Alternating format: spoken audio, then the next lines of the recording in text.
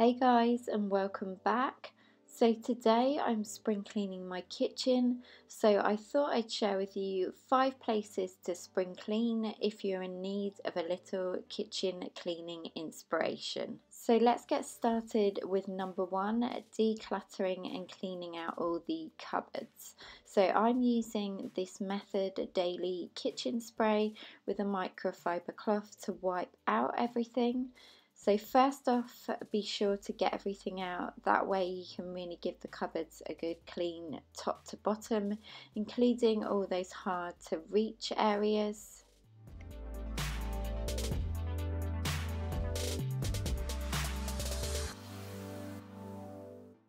I'm also pulling everything out the drawers, including the drawer at the bottom, so I can get right inside to clean and wipe down the usually hidden and neglected areas. In the food cupboard, I love to keep everything in these curver baskets as they fit neatly into this corner cupboard and they're easy to pull out. Next, it's time to show the inside of the oven some love. I use this Astonish oven and cookware cleaning paste that I got in Poundland to clean the oven. This actually worked pretty well with a sponge scourer. I then um, wiped and removed the residue with a wet cloth to finish. For the wire racks, I use a mix of white vinegar and water in a spray bottle to soak the racks in. I then douse them in bicarb of soda and finish with another spray of vinegar just so the solution foamed up and it could really soak into the racks. I let this rest for about 10 minutes before popping the racks into the warm water to soak as well. So while they were soaking, I decided to give that awkward inside part of the oven door a thorough clean. If you have an oven like mine, then the top part of the glass should be really easy to unscrew at the sides so you can get inside the bottom part of the door. I then just use my vinegar solution to wipe and clean the glass thoroughly. I also dipped a cotton bud in white vinegar as well and used this just to clean the smaller, more hard to reach areas in the oven door. For the inside of the oven, I actually found this oven liner in Home Bargains for only $1.99.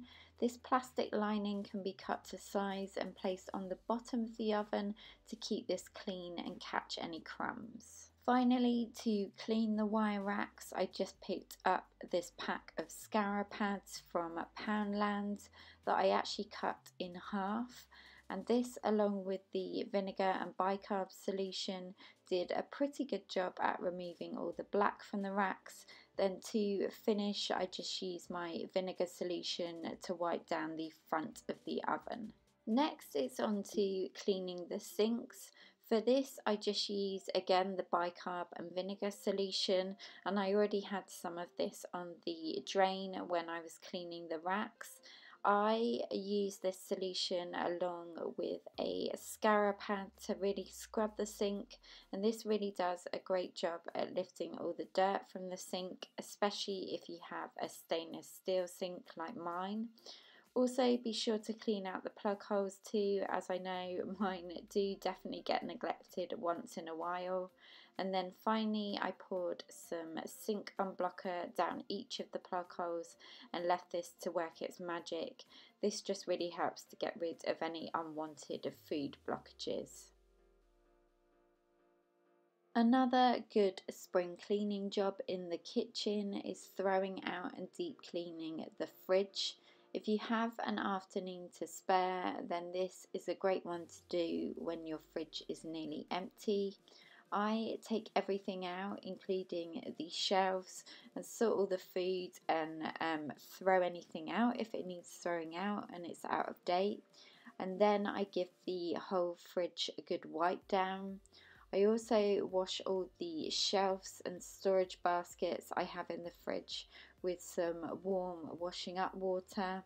That way you can just give everything a good thorough clean out.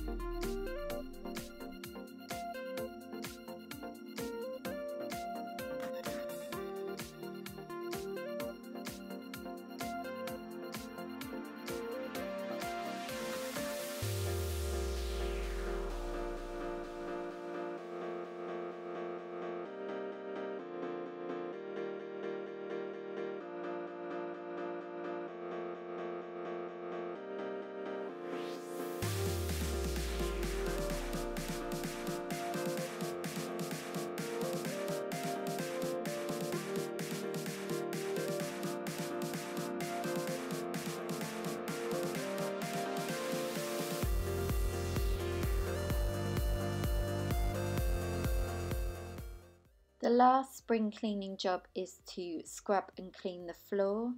Firstly, I recommend hoovering up any crumbs to start with and then I go in and use my trusty bicarb and vinegar mix to scrub the floor with. I actually picked up this bicarb and white vinegar from Wilko. I noticed they were new so I thought I'd give them a go.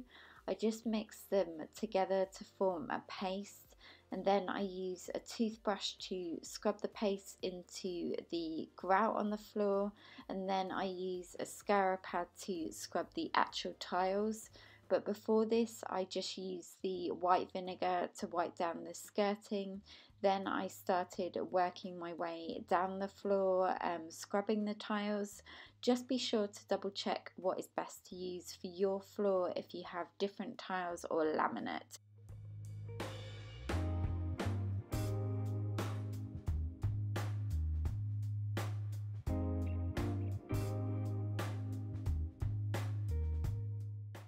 Once I had finished scrubbing, I just wiped everything down and hoovered up any mess. And then finally, I used this method all floor cleaner in lemon and ginger to mop up the floor with. Now, you don't actually need to mix this with water, you just actually squirt it directly onto the floor and wipe it away. And plus, it smells really refreshing and it's just nice and convenient. So guys, thank you so much for watching and give this video a thumbs up if you found it helpful and you've already started your spring cleaning. Don't forget to subscribe and follow me on Instagram, Pinterest and Twitter for more inspiration and look out for some more spring cleaning videos coming up in the next couple of weeks. Also, um, don't forget to check out my previous video, which I'll have linked up on the screen. And have a great start to your week, guys. And I look forward to seeing you in my next video. Take care. Bye.